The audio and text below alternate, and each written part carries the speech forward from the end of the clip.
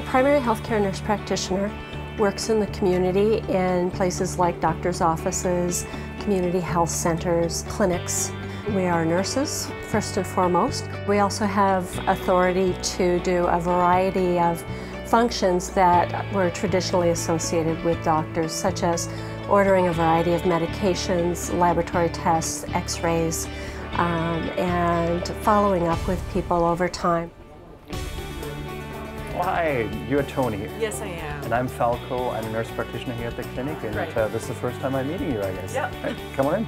A lot of what we do as nurse practitioners is health promotion and illness prevention and uh, dealing with episodic illnesses um, and management or co-management of uh, chronic illnesses. And uh, what, what is it that bothers you?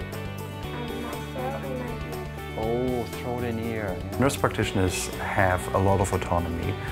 The uh, scope of practice that they're working in is, is quite immense. Did you take any medicine this morning? My work um, is, is the connection to the clients.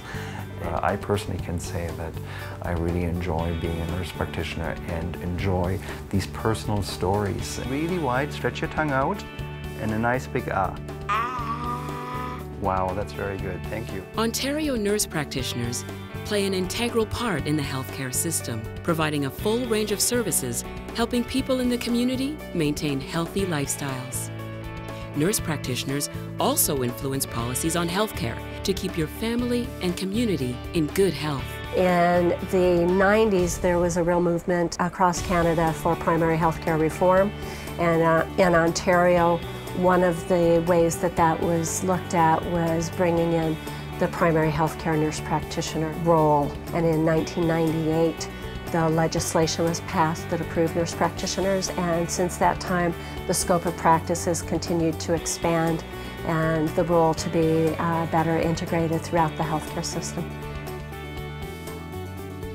I wanted to be a nurse practitioner because I really enjoy that increased responsibility and the autonomy and responsibility for making decisions about care in a broader scope.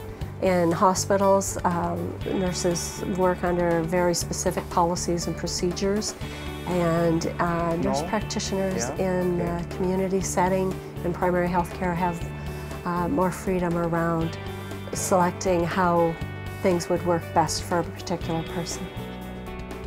For more information about nurse practitioners, visit the Ontario Primary Healthcare Nurse Practitioner website.